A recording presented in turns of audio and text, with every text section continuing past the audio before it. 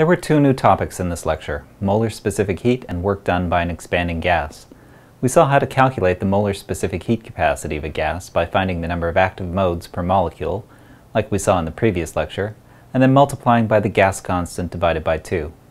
The same formula works for monatomic solids since they have three vibrational kinetic energy modes and three vibrational potential energy modes.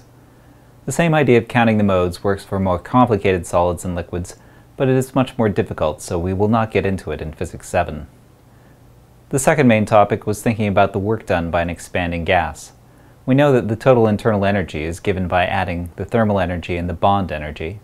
If we consider the case that there is no phase or chemical change, then the internal energy is just given by the thermal energy. We also know that the change in internal energy is equal to the heat and work energy transferred to the system, if we further restrict ourselves to cases where no heat is transferred, then the change in thermal energy is just given by the amount of work energy transferred.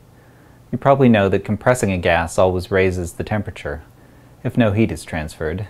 So that tells us that the work energy is positive, or in other words, the work energy needed to compress the gas is changed into thermal energy. If a gas expands with no heat transfer, then the temperature of the gas falls, so the work energy transferred is negative, in other words, the gas did work on something outside the system. We will be using this idea of the work done by an expanding gas to study situations where both heat and work are transferred at the same time. For example, let's look at the case of an expanding gas. If the process is happening slowly enough that at every moment the gas is near equilibrium, then we can better understand what is going on by drawing a graph of the pressure versus volume during the expansion. When we expand the gas by adjusting the force on the piston, and don't allow any heat transfer, then we know the temperature falls and we get a graph like this.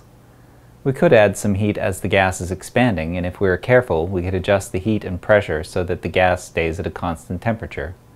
Then the ideal gas law tells us that the pressure curve goes like 1 over the volume.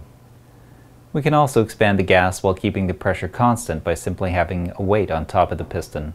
Then we have to add even more heat in order to get the same expansion in volume.